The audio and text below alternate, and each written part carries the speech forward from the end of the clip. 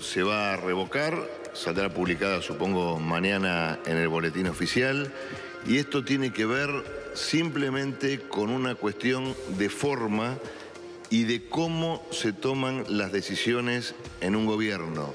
No, esto no hace un juicio de valor ni sobre la resolución en sí misma y su fondo, ni hace un juicio de valor sobre la persona de Adolfo Rubinstein. No se le pidió la renuncia.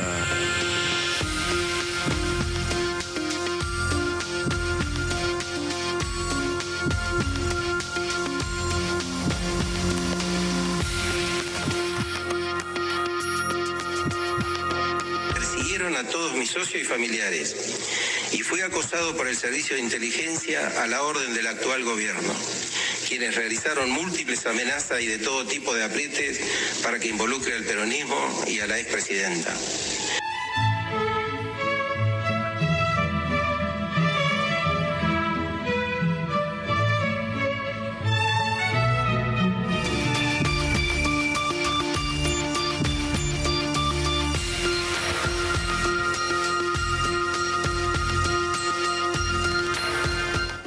Gracias, Emilio, por lo que hiciste, por lo que no hiciste y por lo que seguramente vas a hacer, porque sos un gran dirigente político.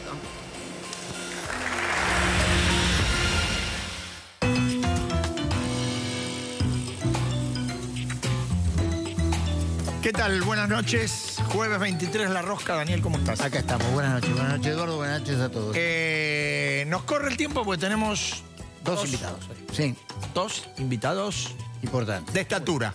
Totalmente. Eh, está Hernán Lacunza, el ministro de Economía Así es. del gobierno de Macri, y está Miguel Ángel Pichetto, Pichetto. ex candidato a vicepresidente, que va a formar parte de la futura mesa de eh, esa mesa que armó el presidente para hacer el seguimiento de la oposición.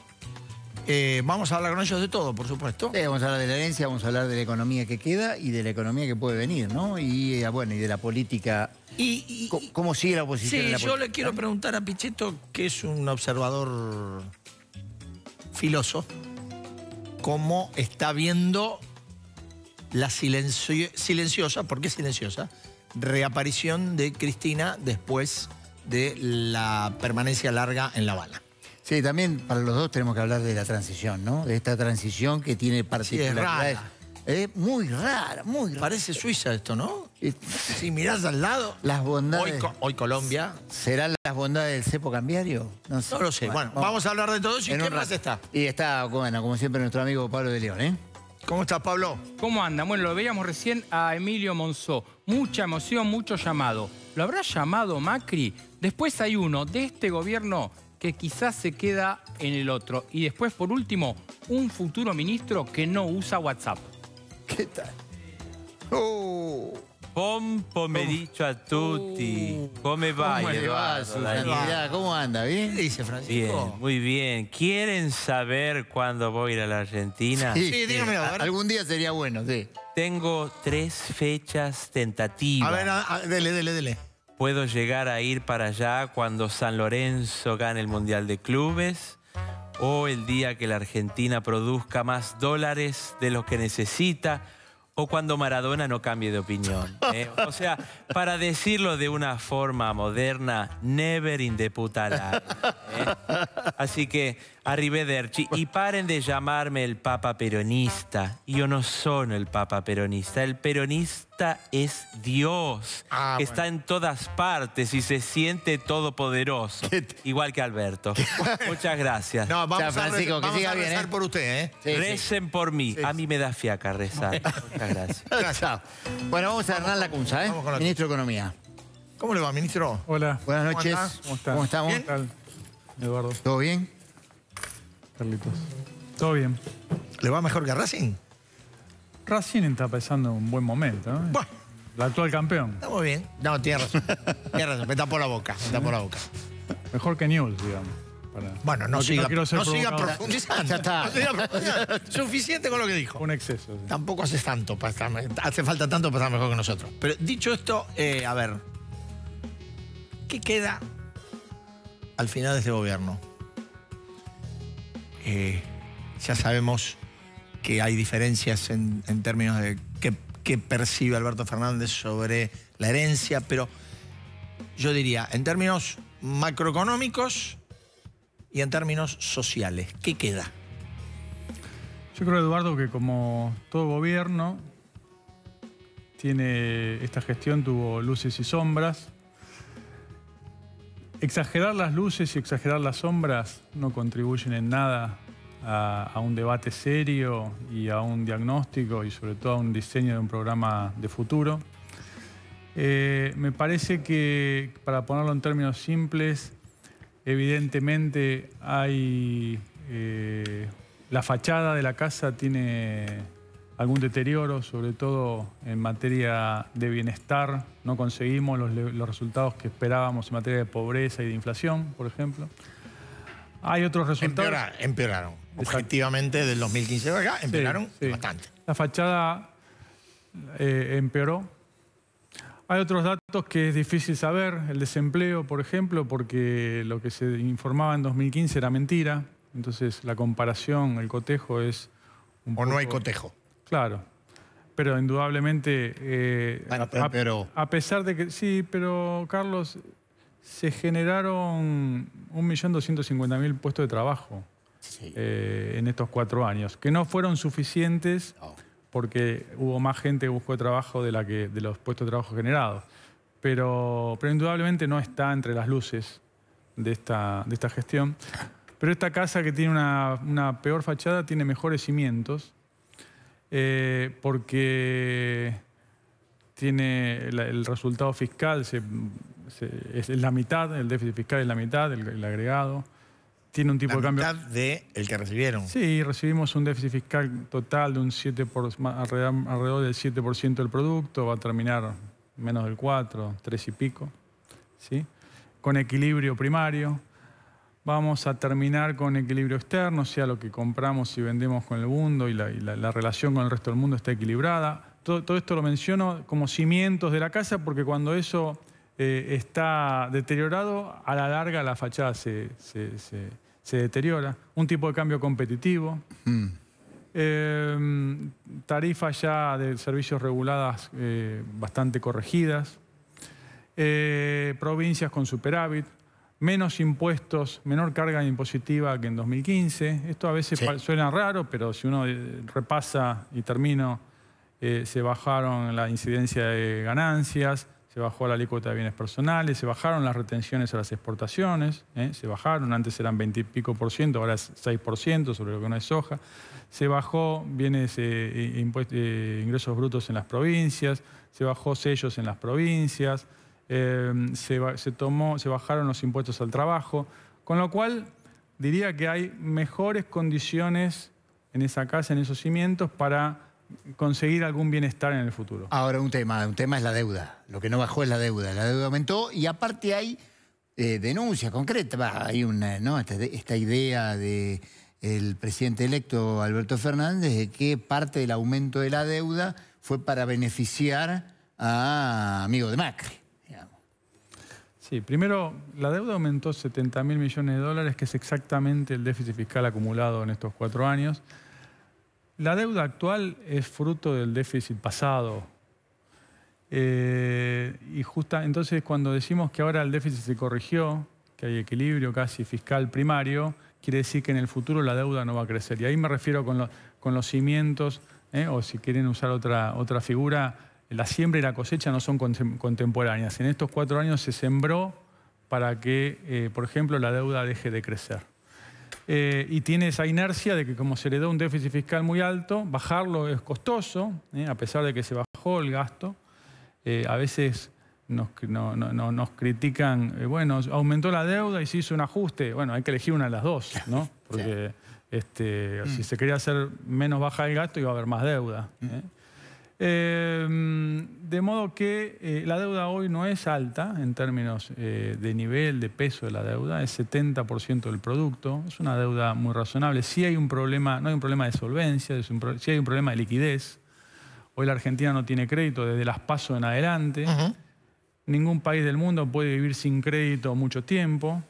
Eh, sí tenemos los recursos y vamos a dejar los recursos en materia de herencia para unos de reservas. Acuérdense los pronósticos apocalípticos que había después de las pasos. Sin embargo, llegamos a un, fin de mandato que es, dicho sea de paso, la, primera vez que un gobierno no peronista entrega en 91 años y, en más de 100 años en que un gobierno entrega a un, a un sucesor de distinto signo político en Argentina. Con lo cual eh, y con reservas suficientes como para tener un, espacio de negociación de la deuda suficientemente amplio. habla de reservas suficientes, ¿de qué estaría hablando? Las reservas totales, faltan dos semanas, pero van a orillar los 45 mil millones de dólares. Eh, ¿Disponibles? Algunos hacen alguna cuenta sobre, la, verdad que el número oficial que, usa el gobierno son las reservas totales, después algunos deducen algunos componentes, pero van a quedar, para ponerlo en otros términos, Eduardo, eh, reservas para, si, hubiera que pagar deuda exclusivamente con reservas, para cinco o seis meses, y ese es mm. un tiempo más que suficiente para eh, negociar la deuda, que como decía antes, no es tanto un problema de solvencia como de liquidez, con lo cual a nuestro juicio hay que hacer más hincapié en los plazos de, vencimiento de la deuda que en el monto o en, eventuales quitas sobre el, sobre el volumen. La CUNSA ya lo fueron a ver Nielsen, eh, Cecilia Todesca o Matías Culfa, que son los referentes económicos más cercanos a Alberto Fernández, para negociar un poco la transición, digo, porque faltan muy pocos días.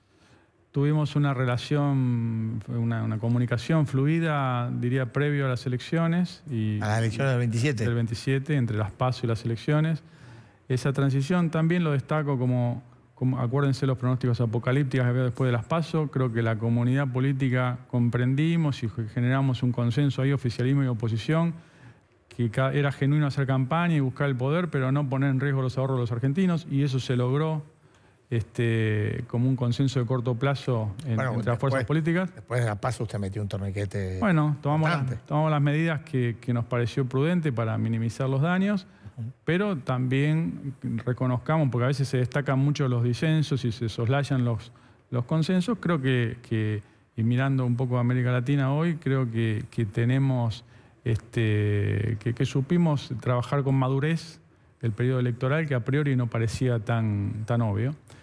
Eh, pero volviendo a la pregunta anterior, desde el 27 de octubre para acá los contactos han sido más esporádicos, menos orgánicos, eh, más, más, puntuales, no, no, no, un silencio absoluto, pero sí algún, algún dato eh, puntual, no, no, no sistémico. ¿No le han pedido alguna información específica? Eh, alguna cuestión así bien, bien precisa sobre bueno cómo está esto, cómo está esto otro. No, nosotros estamos a disposición, como le dije, primero porque... ¿Tuvieron un interlocutor? ¿Tuvieron varios? ¿Tuvieron distintos? No, varios, porque digo, entiendo que el presidente electo está definiendo su equipo, su programa.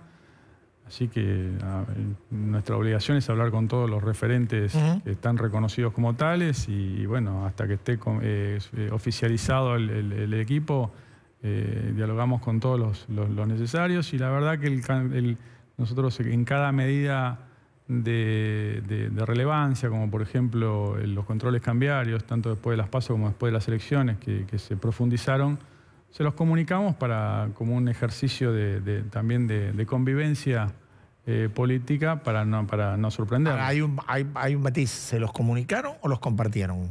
No, se los comunicamos. Eh, el gobierno está en ejercicio. El mandato del presidente Macri este, termina el 10 de diciembre, para eso fue votado, el 9 de diciembre. Eh, y estamos ejerciendo, y por supuesto que también cuando tomamos medidas, Eduardo, sobre todo después del 27 de octubre, cuando ya estaba definida la contienda electoral, no, no ignorábamos cuáles eran las prioridades del, que había manifestado el gobierno electo para tomar medidas consistentes con eso. Eh, o sea, cuidar la reserva, ¿no? Dejar cerrar el cepo de 10 mil dólares por mes a 200 dólares por mes, ¿no? Para las personas con motivo de atesoramiento. Esto es, en la práctica, cerrar el grifo en la venta de dólares. Sí, cuidar las reservas, no solo porque lo manifiesta alguna fuerza política, sino porque nos parece que es lo mejor para los argentinos. O sea, cuanto mejor termine este gobierno, más recursos van a quedar para el próximo, y el próximo va a tener más grado de libertad para desplegar sus políticas. Y eso más allá de que a este gobierno le convenga terminar bien por su activo político y su futuro, y al próximo empezar bien, Los que están en el medio somos los, argent- somos los argentinos, así que ese es el, bien superior o el destinatario superior. Eh, cuidar las reservas, no, no dejar, que- digo, un diagnóstico de que el tipo de cambio real actual es suficientemente alto, entonces no convalidar un dólar barrilete, para decirlo gráficamente, que solo traiga más inflación y más inestabilidad. Eh, priorizar los, los depósitos como, como los ahorros de los argentinos no están en juego. Eh, no, no incurrir en una, en una cesación de pago de la deuda masivo porque sería contraproducente para una negociación rápida y voluntaria en el futuro. Eh, bueno, todos esos que, que hace tres meses no eran tan obvios, creo que, bueno, entre los consensos y las medidas tomadas y los diagnósticos y la decisión del presidente Macri que, que cuando me convocó fue cuidar a los argentinos, este, entendemos que esta transición, no sé si es ejemplar ni mucho menos, pero sí es ordenada. Ahora, dígame, eh, usted en un momento, eh, lo dijo públicamente, sugirió que era que hubiera sido conveniente, ya no lo va a hacer, porque me parece que el tiempo que queda no, es suficiente, que el gobierno que está y, y el presidente electo hubieran comenzado a trabajar en el reperfilamiento de la deuda. No tuvo mucho eco eso que propuso, ¿no? No, no tuvo eco. Y la verdad que la vocación nuestra era, dado que, eh, como digo, hay que hacerlo rápido. Rápido no es en 20 días que no se puede, pero no en 10 meses. O sea, eh, una negociación de deuda voluntaria puede llevar un par de meses, pero no hay tiempo para perder. Entonces, hay, por ahí hay, algunas semanas para ir preparando el terreno y los documentos y las propuestas y la interlocución con los inversores y también con el Fondo Monetario. Una opción era usar estas seis semanas de transición para eso, pero bueno, el gobierno entrante prefirió otro ritmo o está diseñando su política o su diagnóstico o su equipo. Bueno, no es grave, era, era una oportunidad, pero, pero bueno, lo- se, se hará supongo a partir del 10 de diciembre. Ahora, no es grave, pero uno de los referentes claves del equipo económico, de quien va a ocupar un puesto seguramente importante, como es Guillermo Nielsen, dijo en Estados Unidos que hay como el principal peligro que es un camión de frente que se viene con el vencimiento de la deuda en, do- peso, perdón. O sea, como que la Argentina eh, está en las puertas de una gran emisión de pesos o de tener que reprogramar deuda en pesos. Sí, creo que eso no va a ser necesario en la medida que haya una, como decía recién, una, negociación de deuda rápida y voluntaria en los términos que- que yo postulo, pero bueno, puede haber otros mejores. Eh, la emisión de pesos, eh, eh, en tanto sea con la dosis adecuada y se tome como una- un mecanismo de financiamiento transitorio y no permanente, o sea, no confundir, digo, es, una, es una- un mecanismo de financiamiento legítimo, que hay una, como sabemos, una, una- baja eh, cantidad de pesos hoy en el mercado, o sea que hay algún espacio en la medida que la demanda de peso lo convalida con un programa económico consistente, digamos, todo va a funcionar bien con un programa económico consistente, fiscal y monetario, que entonces sí permita una negociación de deuda creíble y entonces ahí se va a recomponer la demanda de dinero, entonces la emisión no va a ser traumática ni, ni inflacionaria. No, no es que toda emisión es inflacionaria, lo que es inflacionario es el desequilibrio, o sea, la oferta de dinero mayor a la demanda. Entonces, en la medida, si no, hay, hay muchas etapas de la historia argentina no tan, no tan antigua donde, donde hubo emisión inflacionaria, en tanto y en cuanto había un programa eh, económico consistente detrás, que va a ser necesario también para negociar la deuda y, hacer eh, un cronograma de pagos creíble, que es lo que van a pedir, a pedir los acreedores. Con lo cual todo se resume a eso. Eh, y me parece que no hay por delante un, destino inexorablemente traumático en la medida que se haga un plan coherente. Ministro, eh, usted estuvo todos los años, no, no, no, no, fue ministro de Economía, digamos, en el momento de la emergencia nacional, pero estuvo en la provincia. Yo le pregunto, si usted tuviera que hacer un balance, un juicio, ¿falló el diagnóstico en estos cuatro años? ¿Falló el diagnóstico? ¿Fallaron las herramientas o hubo una combinación de más cosas? Primero, si se quiere atribuir al diagnóstico a que se subestimó la herencia, sí. Eh, hubo una, una- falla. Eh, digamos, la herencia era más pesada de lo que se presumía, digamos, voy a decir fácil, digamos. Al, mismo tiempo, corregir el dólar, corregir las tarifas, el dólar que estaba atrasado por, por las tarifas, eh, bajar la inflación y crecer, los libros dicen que no se puede y no se pudo. Eh, después hubo algo de mala suerte, si se quiere, con la cosecha del año pasado, un momento crítico. Sí, la sequía. perdón, con la sequía, 8 mil millones de dólares en ese momento, podría haber sido otra historia. Y hubo sí algún, una, descoordinación como error propio de la, de la, política fiscal y monetaria. Siempre yo lo grafico diciendo el remo monetario iba más rápido que el fiscal, entonces el bote quedó en algún momento dando vueltas hasta que vino una tormenta que inexorablemente siempre viene, o una sequía, o una suba de la tasa afuera. Y, nos, nos agarró esa tormenta o esa sequía con un sistema monetario y cambiario no suficientemente robusto para enfrentar una contingencia de esa naturaleza. Entonces, hay una combinación de herencia, eh, error de instrumento y algo de mala suerte. Pero eso ya es pasado, me parece que ahora estamos eh, en esta, nuestra obligación y nuestra vocación es este, entregar eh, la economía lo mejor posible, que creo que se está logrando. Y insisto, Eduardo, a su primera pregunta, digo, para tener un ejercicio maduro en el porvenir, no tiene ningún sentido exagerar las luces y exagerar las sombras. Los números, una, una ventaja de esta etapa, que si se quiere el legado es más institucional, porque también digo, la inercia no es buena, porque la producción este, no, está, baja, pero el legado institucional, hoy presentamos una ley de estadística, digo, este INDEC es un orgullo de esta gestión y es un insumo crítico para diseñar políticas públicas. Eh, y presentamos una ley como para darle más eh, cobertura institucional eh, a, eventuales presiones políticas.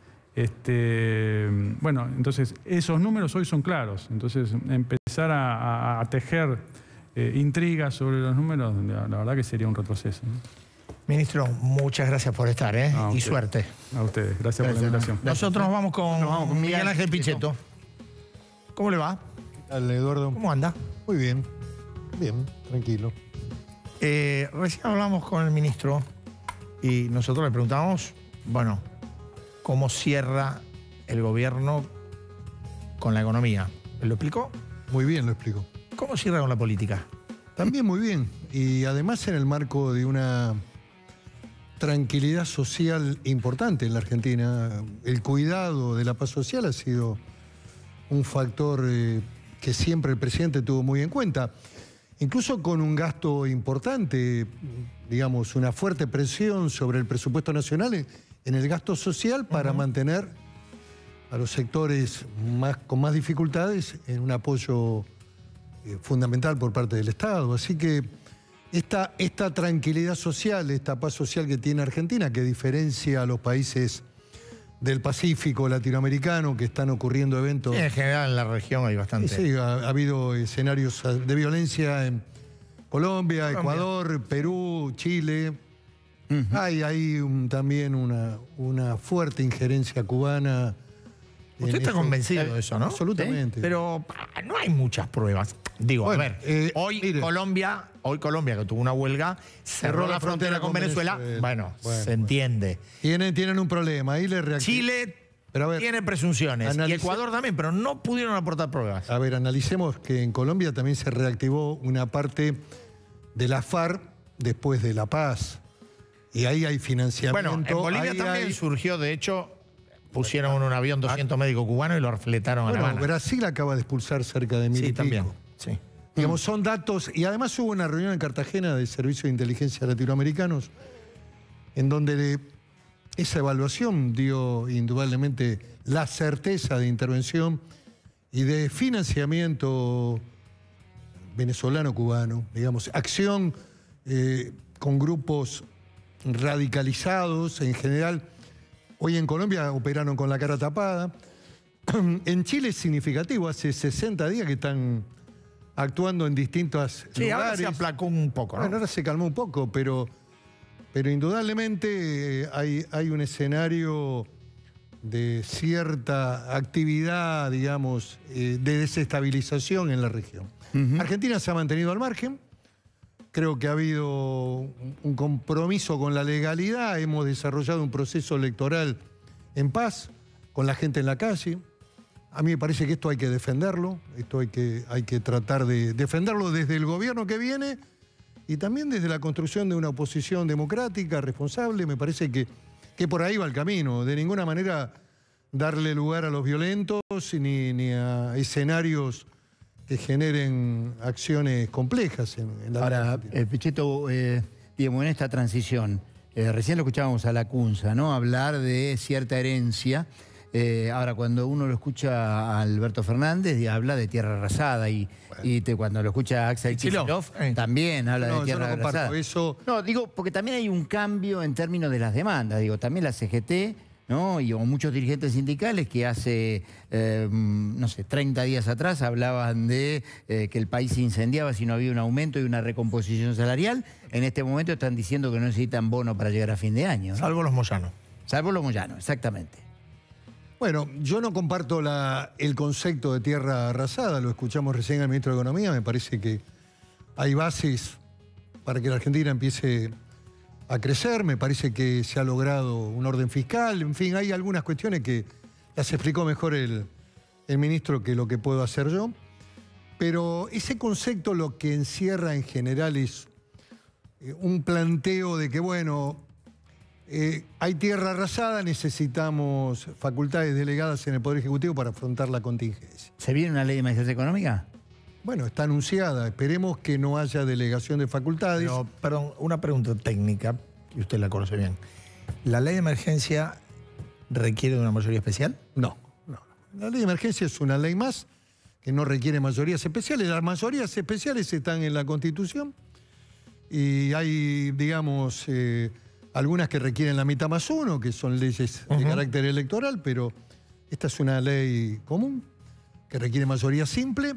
Lo que digo es que Macri dejó de lado las facultades delegadas y también el resultado electoral, ese 40% que votó por el presidente Macri, requiere una mirada y un análisis de búsqueda de consenso. Yo veo un interés muy fuerte del gobierno electo, del presidente, de construcción de consensos, de consejos económicos.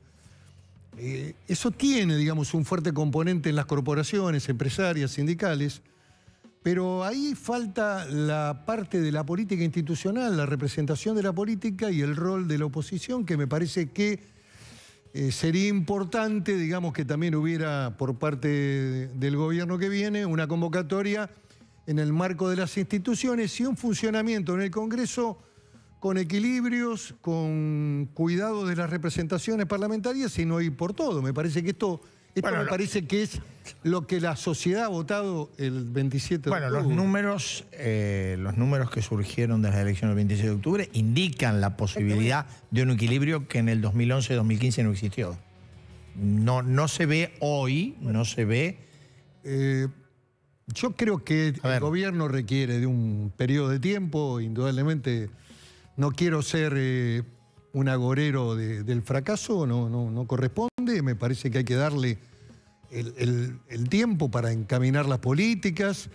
Eh, sí veo algunas cosas que, que me parecen importantes. eh, A ver, ¿cuáles? meramente descriptivas. No, no, no, está muy bien. Diría que ni siquiera hay una evaluación subjetiva de mi parte. Va a haber una fuerte gravitación y una fuerte centralidad de Cristina Fernández de Kirchner en las dos cámaras. Esto es un dato... Bueno, pareciera que por algunas novedades de esta semana será así, ¿no? Digo, que Máximo Kirchner sea el presidente del bloque y que Agustín Rossi se ha desplazado a un ministerio. Son movimientos tácticos que los analistas en políticos en la Argentina en general siempre miran tarde. Lo ven con el diario del lunes, pero Bueno, que... no, No, no, no. siento aludido. No, Usted escribe los domingos. Escribe los domingos y escribe Está con muy bien. bastante certeza. Está muy bien. Lo que digo es que, que ocurren hechos. Sí, en claro. esta transición están ocurriendo hechos.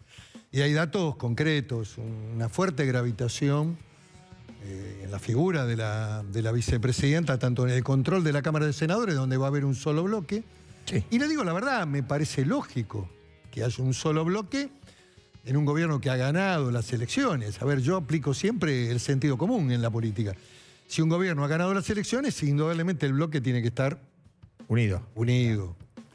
Eh, en el Senado va a haber un solo bloque, va a haber una conducción muy férrea seguramente de la vicepresidenta y en la Cámara de Diputados una figura importante de gravitación institucional como es Agustín Rossi fue, digamos, mencionado para asumir como ministro de. Defensa. Eso implica un espacio que lo va a ocupar Máximo Kirchner, con lo cual se equilibran las relaciones también en la Cámara de Diputados con una figura que va a ser el presidente de la Cámara, que es Sergio Massa. Digamos, hay, hay allí elementos para el análisis de- del domingo. que Sí, claro. Y Eh, un, elemento, un elemento es que, ¿qué pasa? El, el Senado y diputados, la Cámara el- eh, van para Cristina y el gobierno para Alberto Fernández. Yo diría que hay una fuerte centralidad en la figura de la vicepresidenta y en la conducción de ambas cámaras.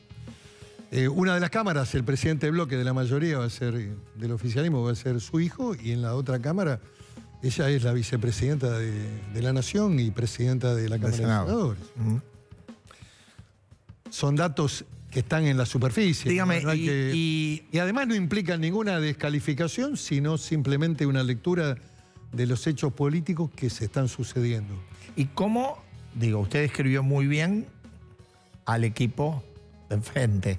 ¿Y cómo se está o cómo vislumbra usted que se acomoda la coalición, cambiemos, para pasar del poder a, no es el llano, pero para pasar de, Sí, el- del poder a la oposición? Bueno, Hacer una oposición democrática como la definió la noche de la derrota el 27 de octubre en, un- en un mensaje realmente muy, muy bueno a la sociedad, a los argentinos, Mauricio Macri. Eh, Hemos hecho una primera reunión, me parece que, que son los pasos centrales para estructurar un- una conducción política. Aflora indudablemente, sin ninguna duda, un liderazgo que es emergente del resultado electoral, que es la ¿Usted cree que Macri hoy es indiscutible? yo creo que no hay ninguna fuerza política en, en el mundo que si tiene una base electoral de 40 puntos y tiene un, un líder que fue, su, fue presidente en esta etapa y saca 40 puntos, se puede desperdiciar ese liderazgo. Los liderazgos eh, son difíciles de construir en la Argentina. Si no, no entendemos el proceso que acaba de ocurrir en el país, donde el liderazgo de Cristina Fernández se mantiene indudablemente como dato relevante de la política argentina. ¿Por qué? Porque no es fácil construir un liderazgo en todo el territorio nacional. Implica conocimiento, relaciones, eh, construcción de mensaje, eh, estructura de ideas, eh, una, una interrelación con la gente que Macri ha logrado. Me parece que, que este dato, eh, Juntos por el Cambio, lo tiene que mantener. Y hay que ampliar, sí, la base de, de debate, de discusión, en términos más horizontales, porque, lógicamente, cuando uno está en la presidencia, el poder es mucho más vertical. Sí, claro. Digamos, la orden que surge del presidente se cumplimenta. En cambio, en el llano, los participantes de este proceso, con el radicalismo, que es importante, una parte del peronismo, como dato, digamos, de, de participación también del último resultado electoral, donde hubo votos que vinieron del centro político del peronismo, que no acompañaron el- la propuesta del kirchnerismo.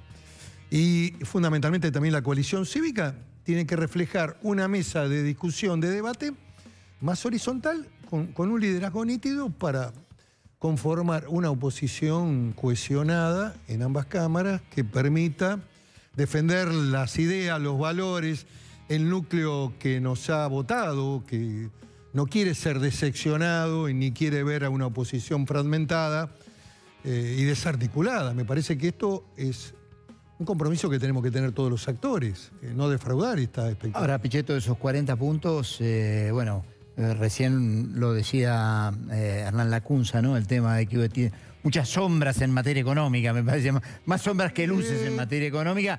Eh, ¿Qué es lo que votó? ¿Qué es lo que encontró en el 40, pu- esos 40 puntos eh, en ustedes?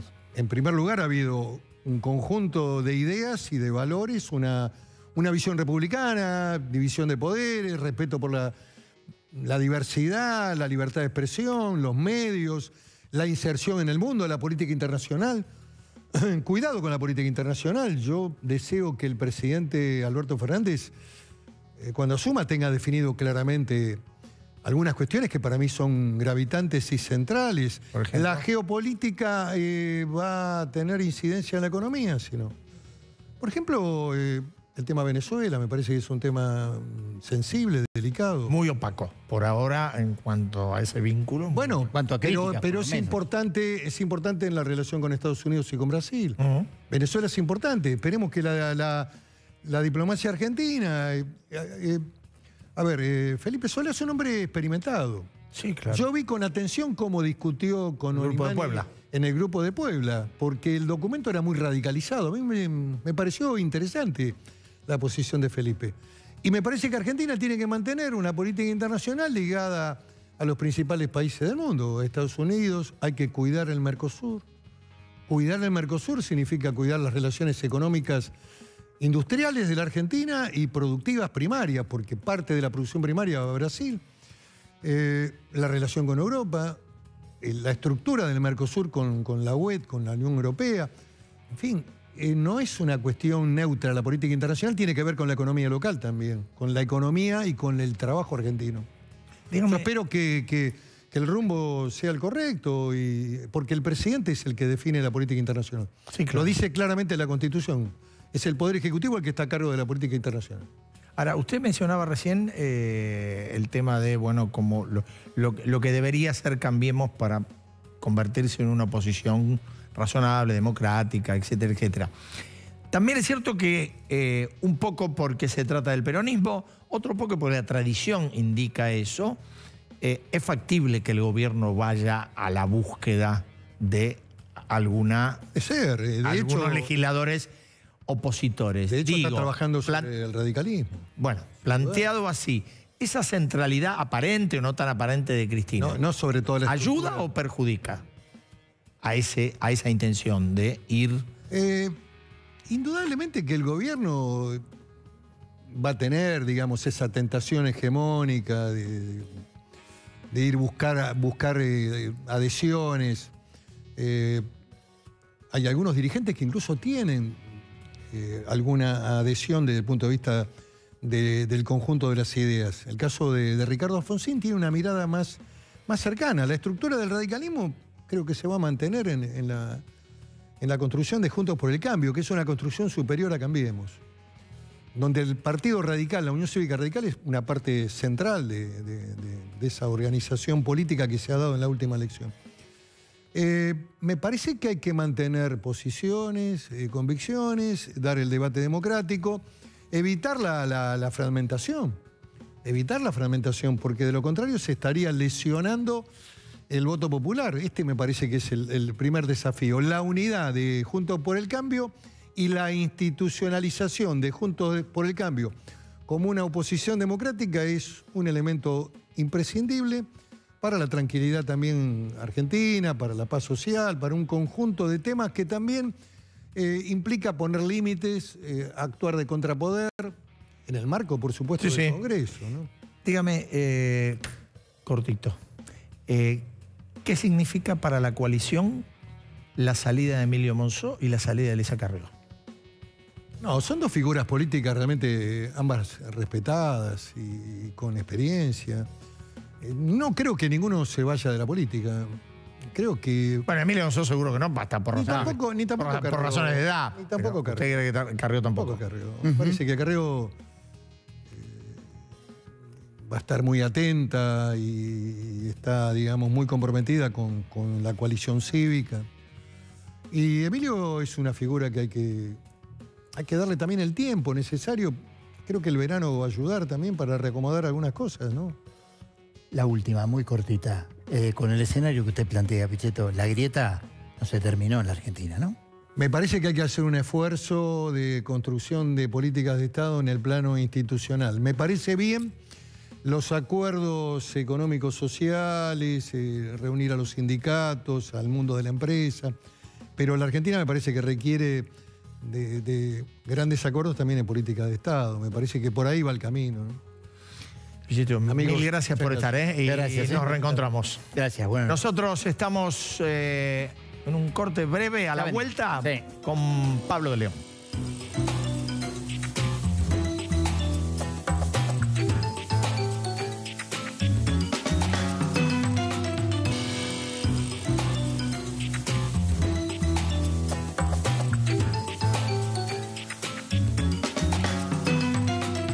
Vuelta. Con el señor Pablo de León. Pablo. Qué elegantes. Che, Bueno, tengo una usted queja. también, escúchame, está muy bien. Tengo una queja. Sí, adelante. Reciente, la escuchó Daniel. Uh, uh, uh. ¿Cuál es? Miguel Pichetto dice que no se jubiló. ¿Es cierto, no se jubiló? Pero pidió los papeles. Pidió los papeles, un trámite que inició en 2016 Muy bien. y está en el estado en espera de cese de actividades. Si él el 10, 11 de diciembre dice, me quiero jubilar, Ahí tiene se todo. jubila. Y recién, como me dijo recién ahí afuera, y si no lo va a poder decir él, no dije nada que no sea cierto en Clarín cuando dije que tiene la Bueno, jubilación no, tenés, no tenés por qué defenderte así. No, no, Eh, no te estoy diciendo que el, trámite lo inició en 2016 y está en espera Está muy de bien. cese de actividades. Está muy bien. Bueno, hablando de cese de actividades, ¿quién cesó actividad? No, Ah. Emilio Monzó cesa sus Eh, actividades como diputado eh, nacional. No se jubila, Emilio, no se va a enojar él también. No, si no, tiene, tiene 50 y pi, 50 y cortitos, ¿eh? No, no sé. Bueno, Sí, cortito. momento emotivo. Quienes no lo vieron, Emilio Monzó, su última sesión como diputado, miremos esto, señor director. Muchas gracias, Emilio, por lo que hiciste, por lo que no hiciste y por lo que seguramente vas a hacer, porque sos un gran dirigente político.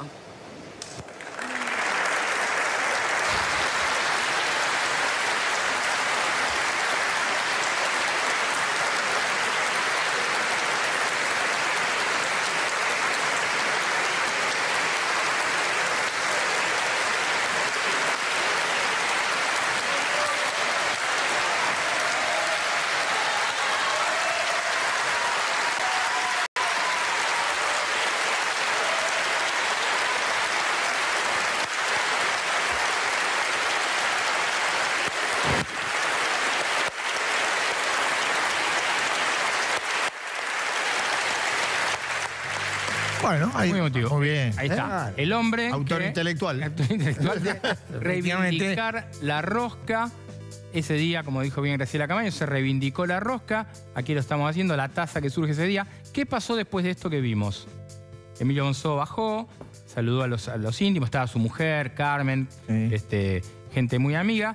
Se sacaron fotos todos los taquígrafos, todos los trabajadores de, de la casa, todos se fueron a sacar una foto muy emotiva con un presidente que fue bastante bien y, y muy querido ahí adentro. Sí, la- la- a ver, eh, siendo la política tan ingrata y tan pobre y tan indigente en la Esquina, Argentina, escuchame, un tipo que se vaya eh, que una persona eh, se vaya, aún por sus opositores más acérrimos, Sí. convalidado, aplaudido, bueno, digamos, es la liñita virtuosa de la política, Bueno, que hay poca liñita virtuosa en la Claro. Argentina. Bueno, vos decís hasta sus enemigos más acérrimos. Vamos a hablar de sus amigos, sus supuestos amigos. Cambiemos. Sí. ¿Quién del gobierno les mandó un mensajito cuando después Macri no. y tenía el teléfono? Marcos Peña. Ah. Quizás el principal detractor de él le mandó un mensaje y lo llamó. Eh, Pancho Cabrera, otro Pa- ministro. de- perdón, el mensaje de la compañía que fue, de- de- que le dijo, suerte o, bien. o por suerte te vas. No sé, ¿cuál fue el saludo? Sí, por ahí le cantó Si tú te vas, alguna canción. Bueno, no, bueno, está muy Y bien. Rogelio Frigerio, su amigo, Bueno, gran amigo. Vos bien. me preguntaste, ¿Macri le escribió? Te pregunté, sí. Yo te digo que no. No. No lo escribió. No le escribió. De bueno, ellos, la, no esta semana, la semana anterior, Sí, tuvieron una reunión a solas. Macri y Monzó. Y fue cordial, Sí. pero tensa. Bueno, más tenso se va a poner Mauricio Macri si se puso tensa, como dice Eduardo Van der Koy y Daniel, cuando vea este afiche que tenemos aquí. ¿Quién? de un acto político, mirá, Emilio A ver, Monzó en la provincia de Buenos Aires, lo no, está mirando. No, no me, diga- no me. En el Salón de Bomberos Voluntarios Ya arrancó. Florencio Varela, el ¿Pero jueves cuándo es este? 28. ¿El jueves El jueves que viene no. El jueves que viene no. El otro. Claro. Pero si mirás el ¿Cómo el afiche. jueves que viene no? Sí, el jueves, el El jueves jueves que viene, viene, perdón, el 18. jueves que viene, a Jueves que 18. viene. Bueno, Jueves que perfecto. viene. Hablaremos de él el jueves que viene, entonces. ¿Quién firma el afiche? ¿Alguna agrupación? ¿Cambiemos? ¿Algo? No dice nada. ¿Qué dice? ¿La tercera con La el- tercera, que es la tercera Con la tercera electoral, claro. Daniel, donde el Rulo Esquiavo es un hombre amigo de él, pero no dice cambiemos. Dicen, dicen, entre comillas, que se quedan en cambiemos por ahora. Vamos a ver. Vamos a ver. ¿Vos decís por los diputados? Por si los bloques están en diputados. ah, sí, correcto. O Sí. igual, eh, Tam- Tampoco es un número. Y bueno, María Mella, sin ninguna duda. pero ¿sabés lo en bien un bloque- suma, ¿viste? en un bloque de 119, ¿no? Y lo bien Sin que le vendrían esos votos a. Alberto ¿Cómo? Fernández. ¿eh? ¿Y a Máximo? Uy, bueno, hablando de la transición, vieron que esta semana publicamos que Santiago Cafiero y Marcos Peña tuvieron un par de reuniones de la transición. Sí. Hay un funcio- funcionario, no, una persona que no sabemos si se queda o se va. ¿Saben quién es? ¿Del gobierno? Que trabaja en la Casa Rosada. ¿Saben quién es? Miren esta foto. No sé. ¿Eh? Porque esta hora mucha gente ya comió, pero nosotros A nos ver. da hambre. El cocinero. ¿eh? El cocinero, el chef, El chef, para bueno, decirlo sí, adecuadamente. Para Ese decirlo es un, un chef muy prestigioso, Dante Liporache, que tiene restaurantes afuera, que tuvo unos famosos tarquino. ¿Pero que llegó con Macri? Claro, llegó con Ah, la no gestión de. Macri. Ha- Había un menú que no comía nadie, un menú de tres pesos cuando estaba Cristina última no iba nadie a comer. Ahora hay un menú de 90 pesos que comes un plato, una fruta y un agua y atienden 600 personas por día. Entonces, ¿qué pasa? Tiene contrato hasta el 31 de diciembre, con lo cual llega Alberto. Bueno, muchacho, trabajo, mucha emoción. ¿Qué comemos? Alguien va a ver. Entonces el, el chef o el cocinero, que está muy bien decirlo así, se va a quedar. Porque dice, yo tengo un contrato, salvo que me digan, no, por favor andate, que viene X o Narda Lépez, qué sé yo, porque ahora Narda Lépez Bueno, Está, en el tema de la pobreza. Claro, el tema el del Una posibilidad. Seamos respetuosos. Por eso ¿Eh? Es una posibilidad. es una posibilidad Narda Lépez. Bueno, este hombre por ahora tiene contrato y se queda. ¿Eh? Bueno, Hay, hay- hay será- tema de la, hay tema de la transición de algunos, de algunos funcionarios que no saben tampoco si se quedan o se van. A ver. Y el caso más típico es el otro que se queda. presidente del Banco Central y el vicepresidente del Banco Central Claro. que todavía no saben, no tuvieron contacto ¿Con todavía con nadie que diga, Bueno, "Che, bueno, ya está, ya está. Vas a tener que correr. Espera, espera, está, que está, gracias, está viniendo alguien. Gracias. Oh. Buenas noches, La Rosca. Ingeniero, ¿cómo le va? Bien, la verdad que los invito a mi fiestita de despedida el próximo 7 de diciembre. Bueno. ¿eh? ¿A dónde es? Vamos a celebrar que en estos cuatro años En la calle. mejoramos, pues claro, en la calle, Sí, como- sí. en la calle, como siempre. Vamos a celebrar que en estos cuatro años mejoramos todas las cifras de este país. ¿Qué? Tenemos más inflación, más deuda, más desocupación, más pobreza y encima, como estamos todos secos, este país no se inunda más.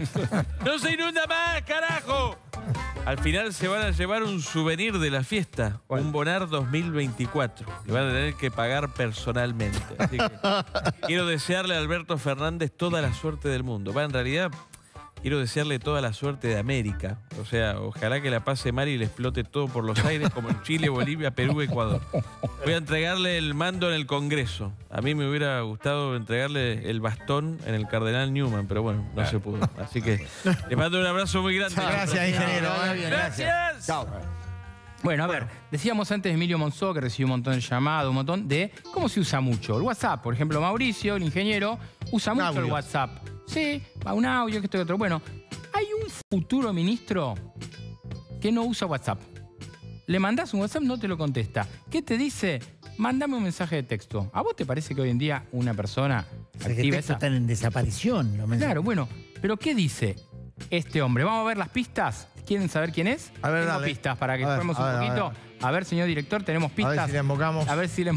Bueno, no nos vendría nada mal. Este hombre, primera pista, ¿tiene mostacho o no tiene mostacho? Tiene mostacho. ¿Y tiene? Ahí está, tiene mostacho. Sí. Y Girardo tiene cuatro hijos. Cuatro hijos. Es de una provincia que Daniel, nuestro amigo Eduardo, conoce muy bien.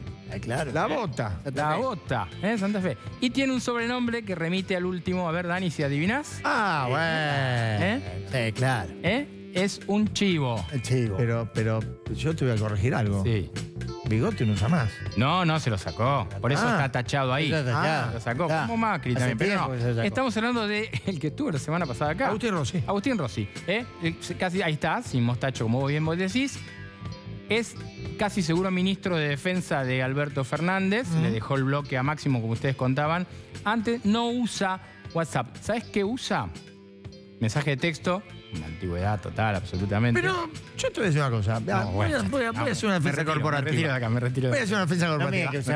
texto, hay gente, funcionarios, Sí. que antes de llamarlos te piden, mandame un mensaje de texto Bueno, y después llamame. bueno, pero eso es un WhatsApp. Mandan una clave de Morse Claro. también. No, no, Bueno, mensaje de texto. dice. Ah, no, pero vos usas WhatsApp. ¿o No, yo sí, pues soy muy moderno. Mira, Uf, claro, sí, por los stickers que mandás son son tremendas, sí. ¿Cómo? ¿Eh? ¿Qué escucho ahí? Ya no se manda más mensaje de texto. Oh. Buenas noches, ¿cómo le va? Topollillo. Buenas noches, ¿cómo anda? ¿Bien? ¿Cómo? ¿Qué hace, don Román? Bien, muy bien. La verdad que Riquelme está feliz, mi mamá está feliz y Alberto Fernández está feliz. Con mi candidatura le hice más daño a Macri que la inflación y el dólar juntos. Pasó de tener el mejor equipo de los últimos 50 años a no poder ganarle ni al topollillo. Y pensaba que decían que yo era lento. Acá lo tenés al lento. Fui más rápido que los hiper remarcando. La verdad que para mí todo esto es muy nuevo, ¿no? Yo estaba acostumbrado a ganarle a las gallinas, pero ahora le voy a tener que ganar al gato. Igual Riquelme está feliz, pero todavía no canta victoria porque todavía falta mucho para las elecciones y a Riquelme le puede pasar lo mismo que le pasaba en Boca antes de, antes de retirarse.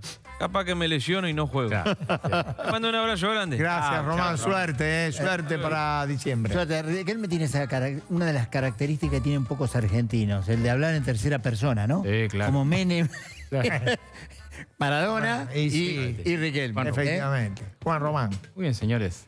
Pablo, Gusto. muchas gracias. ¿eh? Y, guarda, gusto. y Nosotros- guarda con la jubilación. Sí, y nosotros vamos a las Nosotros cartas, vamos ¿eh? a las cartas también. Dale, Vamos, director, vamos con la primera. Vamos a ver Opa. qué tenemos esta semana. Ahí son semanas Uh, de cuatro transición. copas. Difíciles, difíciles semanas de Ah, transición. Cuatro de... Se viene la primera. ¿Pero y por qué cuatro No, copas? Y bueno, cuatro copas. ¡Oh! Lázaro. Un verdadero oprobio, con el mayor respeto por don Lázaro, eh, el descargo que hizo por primera vez después de 1.325 días de estar detenido, Sí. la primera vez que habla de manera directa.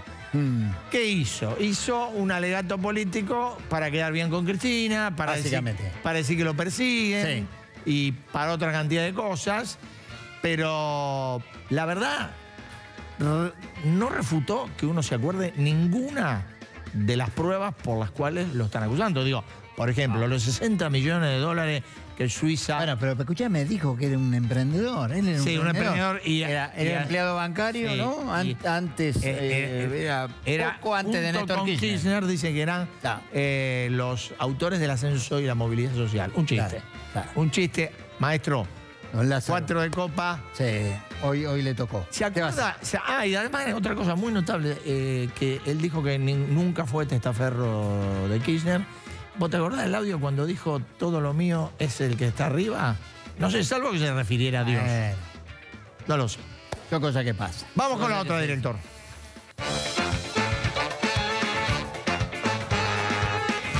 Y esto fue, fue un enchastre esto, ¿eh? ¿Otro cuatro Sí, copas? Sí, un Eh, enchastre. ¿cómo una pena, una pena. Tremendo. Un hombre de primer nivel, Eh, la verdad que sí. muy respetable. Sí. eh, pero bueno, no sé qué pasó con esto de la reglamentación del protocolo del aborto no punible. Eh, Lamentablemente. Salió bueno, salió. bueno, salió, se modificó, se publicó en el boletín oficial, cosa que yo no entiendo cómo el presidente no se enteró y la ministra de Desarrollo Social tampoco. No. Lo cierto es que eh, hay una marcha atrás. Mañana va a salir publicado la rectificación del protocolo Sí. eh, publicado por Rubinstein y mañana también es probable que Rubinstein deje de ser, Deje de ser. secretario de salud. Sí, la- una lástima, ¿eh? Una Realmente, pena, va el cuatro, un hombre- le un hombre queda como gran re- prestigio, pero... Le queda como recuerdo de su último día. Sí. Y aparte, cuando faltaba poquito ya para Eh, bueno, terminar ya está. ¿eh? Nosotros Bueno, nos vamos. nosotros volvemos el jueves. Chau, hasta luego. Gracias, chau.